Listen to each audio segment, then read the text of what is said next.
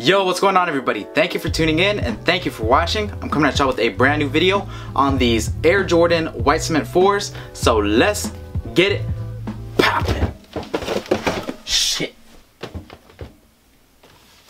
Before we even begin, I wanted to mention that this video right here is not going to be a detailed review. There are a ton on YouTube already, so I'm just going to be giving you guys my overall thoughts and opinion on this pair right here. So let's get it poppin'. So this pair will be dropping February 13th, 2016 for $220 retail. Out the door with tax is going to be probably around 240-ish. A little pricey, but definitely worth it in my opinion. If you guys want to secure a pair for yourselves, I will have a link down below in the description where you can purchase it. JeromeKicks.com. Use the code SINTB to get you guys $10 off of your order. Alright?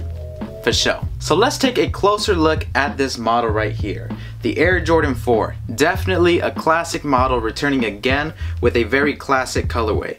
The first release was in 1989 and this particular pair is supposed to be as close to that as possible. They did go with the fat speckles on this one and they just speckled everything. Like it just looks like somebody was sneezing on a paintbrush like this far away and just like and then boom speckles up on it. Honestly though, I really do like this man. I feel like the extra speckles really brings the shoe together. It gives it that unique look.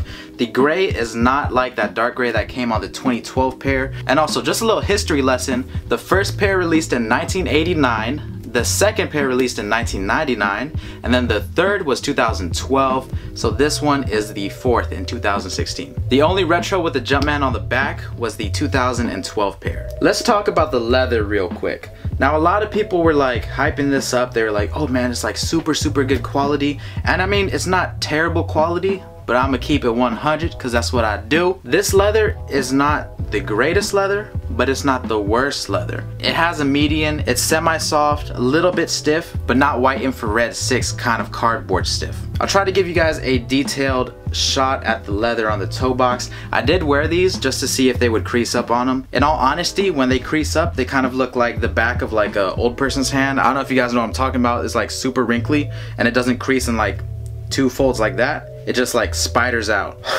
okay, you're being a little weird, bro. That's like the best I could do. It's just spiders out. That's all I could say. I don't know how to explain it. The uppers are super vibrant with this cocaine white. It's the type of white that just pops. I have a 99 pair myself and the uppers are kind of eggshell now. So seeing it like bright white like this is a lot different than what I'm used to seeing. So I like it. A lot of people like the fresh coke white look, but I also appreciate the eggshell. It just depends on the sneaker. But either way, I think that this looks dope. All white cocaine, or if you want to take it back to 99 and 89 with the kind of eggshell look, that's always a good look as well. The insoles feature Nike Air in red, and this Nike is also seen on the bottom of this sneaker. I don't really understand why they did this, but they did include the Air Jordan uh, Jumpman hang tag.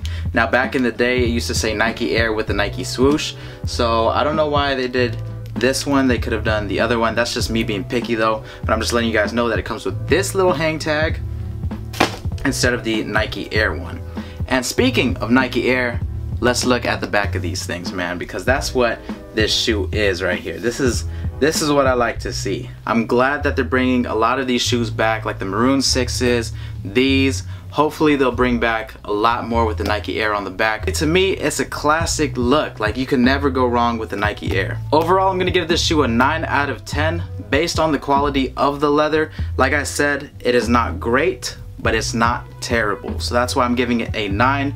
Looks wise, they look 10 out of 10. You cannot go wrong with this pair right here because you can pretty much wear this with anything. The shoe is super neutral when it comes to colors, so that's what I like about it, man. While we're on this subject, I know somebody's gonna ask me about the giveaway. The giveaway is still on, and if you guys haven't entered already, please go ahead and check out the video right here if you guys want to win a pair for yourselves. If you guys like this video, please hit that like button. It does go a long way, and I will catch you guys next time.